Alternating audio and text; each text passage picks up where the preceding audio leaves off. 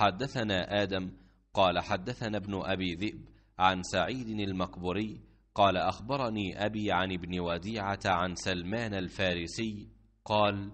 قال النبي صلى الله عليه وسلم لا يغتسل رجل يوم الجمعة ويتطهر ما استطاع من طهر ويدهن من دهنه أو يمس من طيب بيته ثم يخرج فلا يفرق بين اثنين ثم يصلي ما كتب له ثم ينصت إذا تكلم الإمام إلا غفر له ما بينه وبين الجمعة الأخرى.